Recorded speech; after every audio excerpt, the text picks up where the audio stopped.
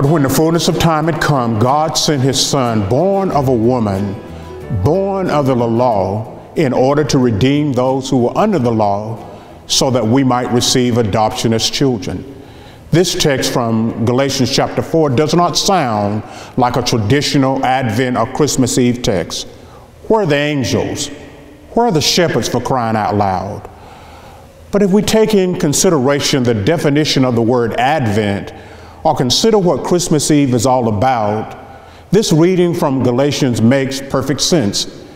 The word Advent is defined in the American Heritage Dictionary as the coming or the arrival, especially of something that's been awaited that's monumentous. What's monumental? What is the monumentous thing that we are waiting in our church? What are we waiting for in our communities and in our world? Are we expecting anything amazing? Are we expecting anything miraculous or extraordinary? In what ways are we watching and preparing and expecting God to show up this Christmas? The Word became flesh and dwelt among us full of grace and truth. And we have beheld his glory, glory as the only Son from the Father. God's timing is flawless in that at the right moment in time, God's long awaited redemptive breaking into human history is revealed, consummated, and made manifest. Prophetic salvation is fulfilled in the birth of Jesus Christ, and in Him alone are God's ultimate purposes and promises made real. In the advent of the birth of Jesus, God, in the words of the hymn writer, breaks the power of canceled sin. He sets the prisoner free at the right time. Christ has died, Christ is risen, and Christ will come again. And this is our hope that was born in Bethlehem. But you, Bethlehem Ephratah, though you are small among the tribes of Judah, out of you will come for me one who shall be ruler over Israel, whose origins are from old from ancient times. This is our Christmas hope. My mom called it buying on time, but I called it what the Laurinburg department store called it the layaway plan. And whatever it was called, I hated it. I hated walking down to the Laurinburg department store and picking out clothes for school or, or, gifts for Christmas and, and needing to wait until my mom was able to pay all of it so that we can get it out. And I was always waiting on that time. Time is everything. Swing the baseball bat at the right time can be the difference between a strikeout or a home run. Wide receivers, routes, and the quarterback's passes are all about timing that might be the difference between a touchdown or an interception. Timing is everything to a good story, a punchline of a joke. Even when planting a garden, timing is important. If you plant too soon, a late frost can kill the seedlings. If you plant too late, the crop will not mature before the snow falls. Timing is everything. And God's timing is flawless, perfect, it is like the gospel song that says, He's an on time God. He may not come when you want Him, but He'll be there right on time. And right on time, when the fullness of time had come, God sent His Son, and all of creation and salvation history was arranged for the moment when God would speak God's ultimate word to a lost, hurting world, a world that was locked in darkness in the fullness of time, God wrapped up all of history in the Word made flesh.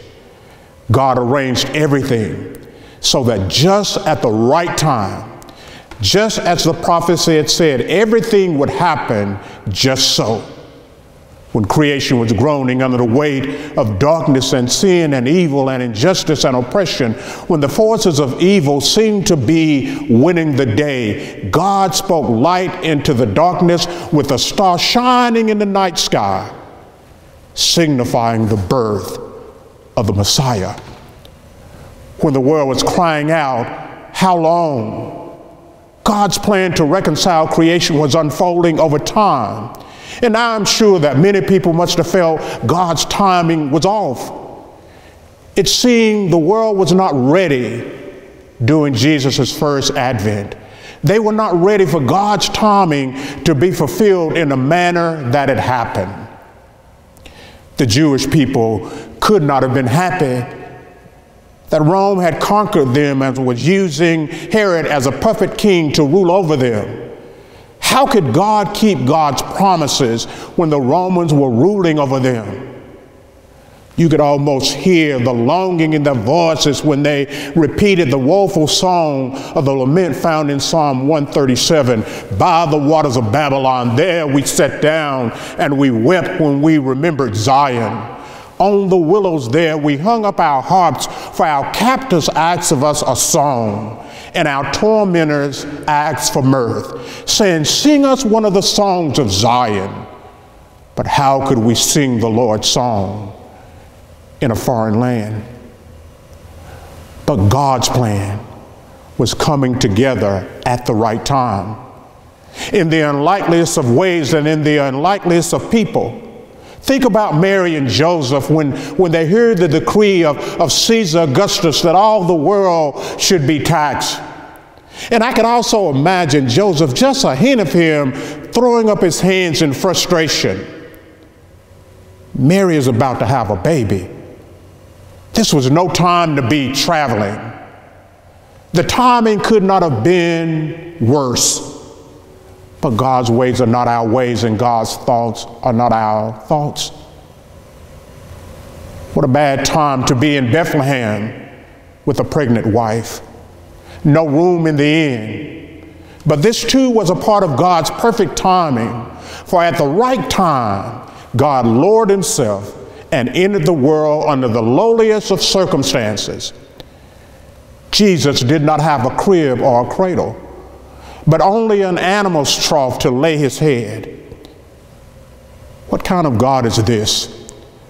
Who would choose such a such seemingly bad timing, such god awful circumstances to redeem humankind and all of creation? But this was a part of God's plan part of God's perfect timing to redeem you and me and the whole world.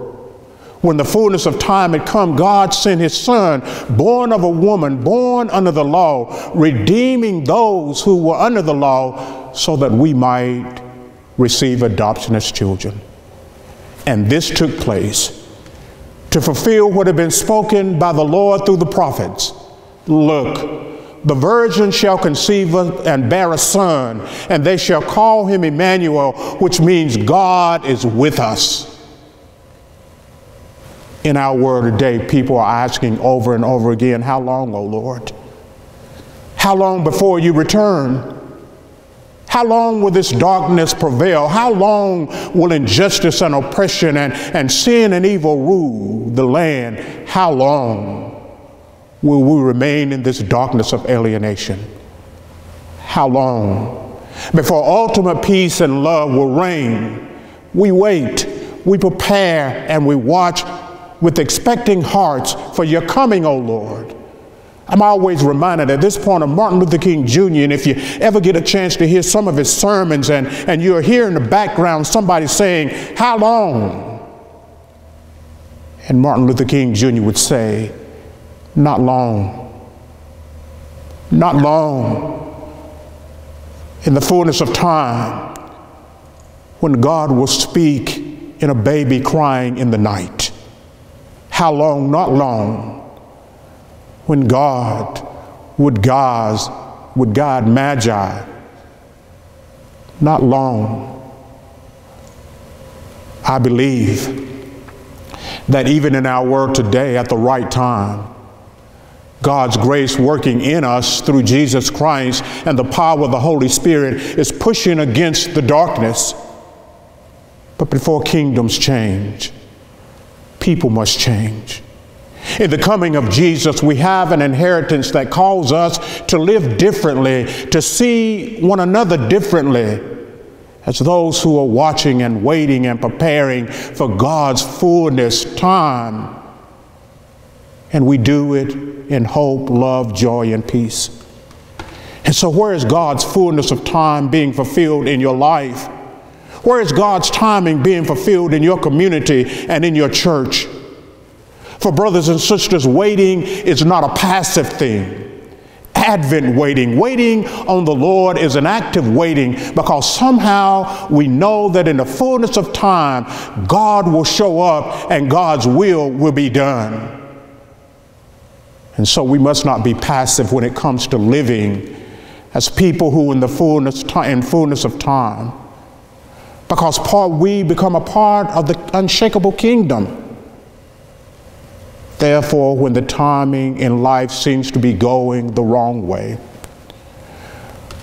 or seems to be a long time coming, when your hopes and dreams do not seem to work out, when you feel like throwing up your hands in frustration and shouting, How long, O Lord?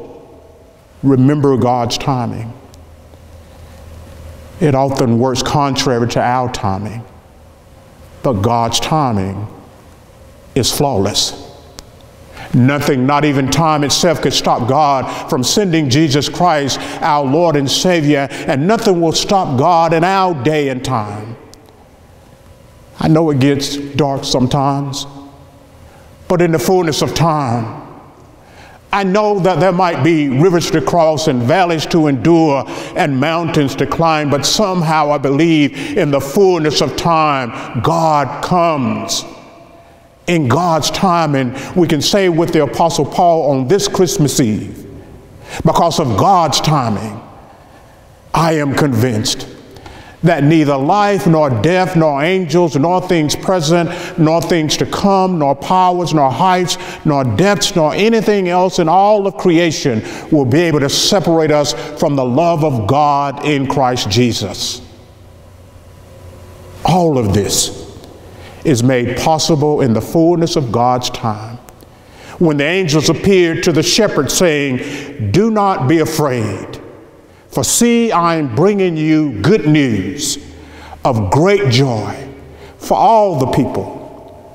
To you is born this day in the city of David a Savior who is the Messiah, the Lord. And this will be a sign for you.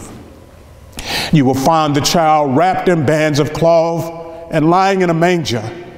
And suddenly, there was with the angels a multitude of the heavenly hosts praising God and saying, Glory to God in the highest heavens, and on earth, peace among those whom he favors and loves. What should we be watching? Preparing and waiting for the fullness of God to break in around us. And finally, friends, I cannot go on this Christmas Eve without sharing a poem that I've written. And it's called Sweet Child of Mine. What did Mary see gazing into the eyes of God needing milk on silent nights in Bethlehem, a hungry stomach's craving? What did Mary hear in the soft cooing of God made flesh? A child for all the world so human, tiny fingers touching her face, reflections of salvation gleaming brightly in divinity's eyes, tenderly resting upon Mary's lap, rocked peacefully into deep sleep. Cries, penetrating midnight silence, God listening to redemption song. Sweet voices, mother and child, singing with one heart, with one hope. Hush, little baby, don't you cry. Heaven knows why you weep. Why you weep tears deep enough to heal the world. A mother always knows in the fullness of time down in Bethlehem. God speaks his word of redemption and peace and love and justice. In the fullness of time, God does something amazing, wonderful, miraculous in the fullness of God's time. Open your heart and receive this gift that redeems us all and sets creation right. Glory to God in the highest, and peace on earth with those with whom he favors, those that he loves. And so when you wake tomorrow on Christmas Day, I pray that you will see it as God's fullness of time Father, Son, and Holy Spirit. Amen.